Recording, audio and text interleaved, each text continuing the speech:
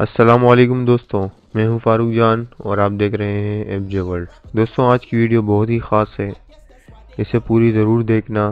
دوستوں کیا آپ کو پتہ ہے کہ پاکستان میں جو الیکٹرک ڈسٹریبیوشن کا کام کرتی ہے، ہر ایک ریجن کی الگ الگ ڈسٹریبیوشن کمپنیز ہوتی ہیں، جن کے نام ہیسکو، لیسکو، سیپکو، کیسکو، گیپکو اور پیسکو اور کے الیکٹرک۔ پاکستان میں یہ کمپنی الیکٹرک ڈسٹریبیوشن کا کام کرتی ہے اور ان کے جو کنزیومر ہوتے ہیں ان کو کافی مشکلات کا سامنا کرنا پڑتا ہے۔ ہم پاگل ہی تو ہیں۔ ہم پاگل ہیں جو بجلی کے لمبے لمبے بل بھرے اور اور کئی گھنٹوں کی لوڈ شیڈنگ بھی برداشت کریں۔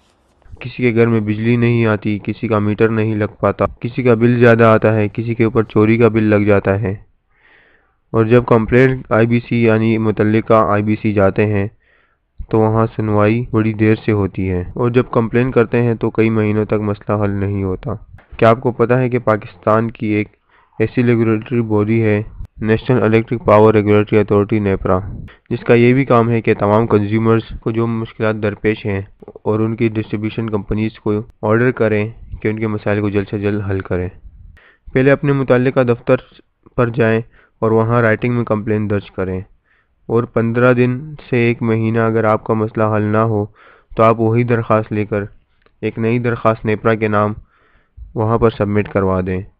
اور انشاءاللہ تقریباً ایک مہینہ میں آپ کا مسئلہ کافی حد تک حل ہو جائے گا یا ہو سکتا ہے کہ پورا ہی مسئلہ حل ہو جائے۔ اگر آپ کو کمپلین درج کرنے کے دوران کسی بھی قسم کا مشکلات کا سامنا کرنا پڑتا ہے تو نیپرا والے آپ کی کافی مدد کرتے ہیں۔ جیسے مثال کے طور پر آپ کی بجلی کٹ جائے یا آپ کو کرنٹ بل نہ دیں، تو آپ نیپرا کے پاس جا کر اس کی شکایت کر سکتے ہیں۔ دوستوں اگر آپ کو جاننا ہے کہ نیپرا میں کمپلین کیسی دینی ہے اور اس میں کیا کیا ڈاکومنٹس سیٹ کرنے ہیں، تو پلیز آپ مجھے کامنٹ سیکشن میں ضرور بتائیں۔